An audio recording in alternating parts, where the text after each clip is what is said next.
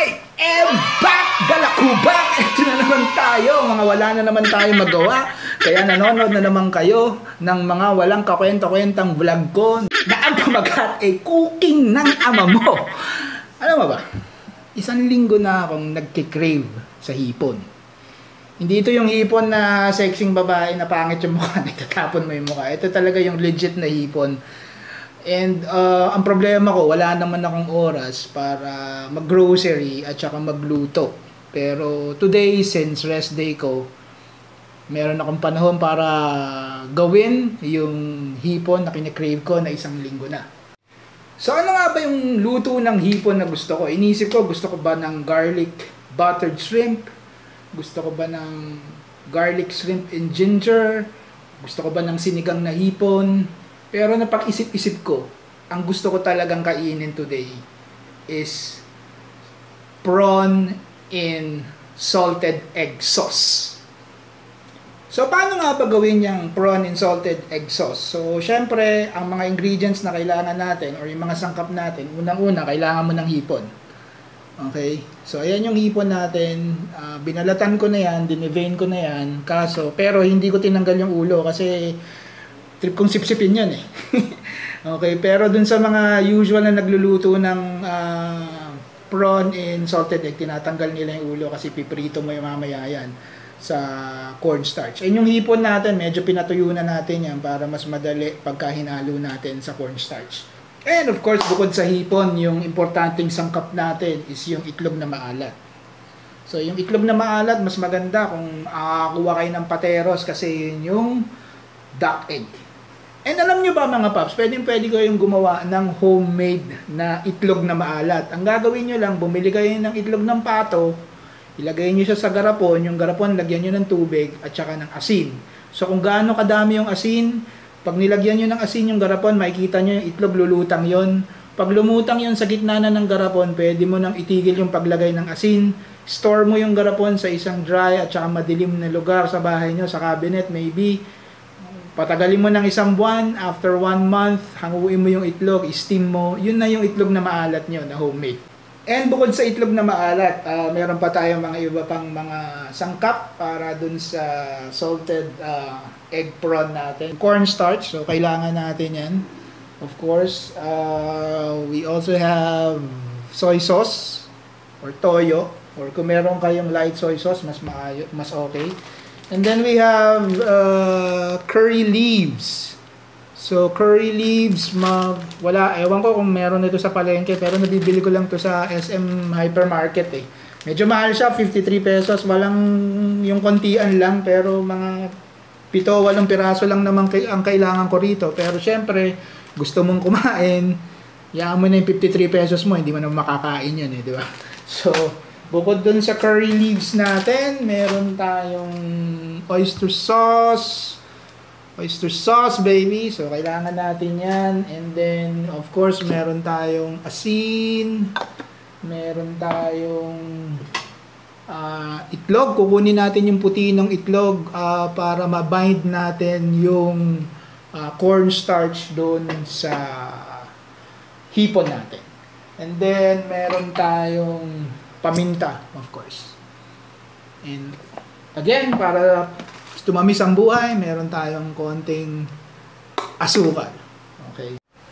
And last but not the least, of course, meron tayong butter. Lalagyan natin ng konting butter yung uh, salted egg sauce natin mamaya because, you know, Betty Butter bought a bit of butter but uh, that butter made her butter bitter so Betty Butter bought another bit of butter and made her butter better.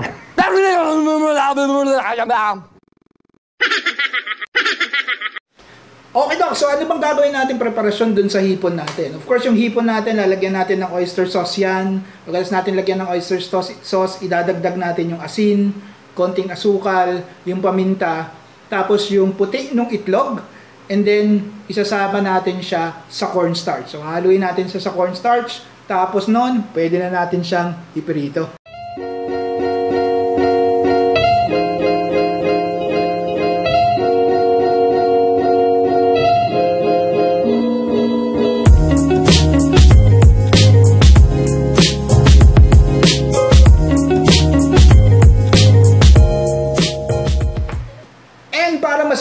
Natin malutong talaga yung hipon natin, iprito natin siya ng dalawang beses. So yung unang prito natin, siguro mga 2 to 3 minutes, hahanguin natin, palamigin natin ng konti. After nun, piprito ulit natin para siguradong malutong yung hipon natin.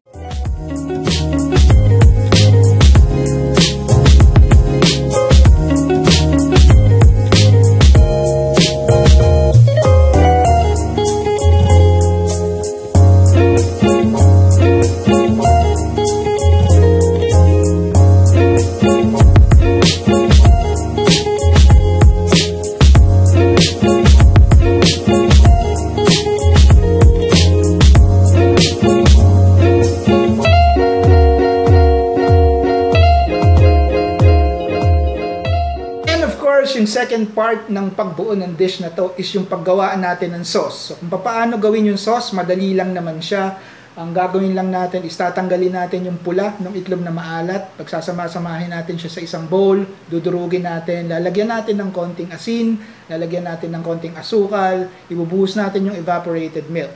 Tapos nun, yung curry leaves natin, medyo uh, igigisa natin sa butter. Tapos, pag okay na yung curry leaves natin, isasama natin yung ginawa nating sauce. Hahaluin natin siya hanggang sa maging malapot siya. Pag alam na natin medyo thick na siya, tsaka natin isasama yung prawn natin na prinito earlier.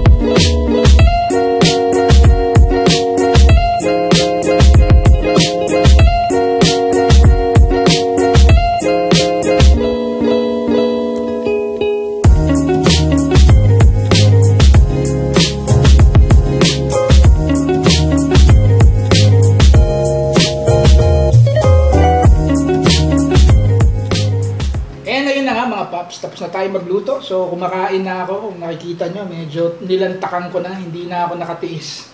So ito yung prawn and salted egg sauce. It's a beautiful mess, but I bet you, puta, ang sarap papi. Subukan nyo, kung kaya nyo magluto, kung mahilig kayo magluto, subukan nyo to. Putik. Sobrang sarap. Wala na siguro kung yung ah, babad natin is 24 hours. Nanuot na siguro talaga dun yung ah, oyster sauce dito sa prawn. Pero, ooh, panalo. Mmm. Ang na, sarap. Ang pangalan ko, nakalimutan ko anong pangalan ko eh. sarap. Worth it. Nakanda na nga yung kaping barako ko eh, just in case, di ba? Naumay ako, may kaping barako ako. Pero yan. Sarap.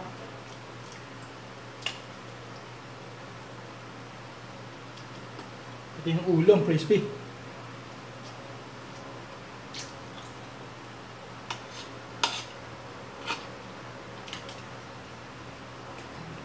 Ngayon na, siguro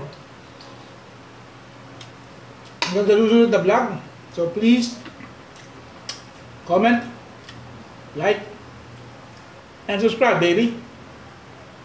Ganito lang, kakain muna ako. Diyan na kayo. Spread the love!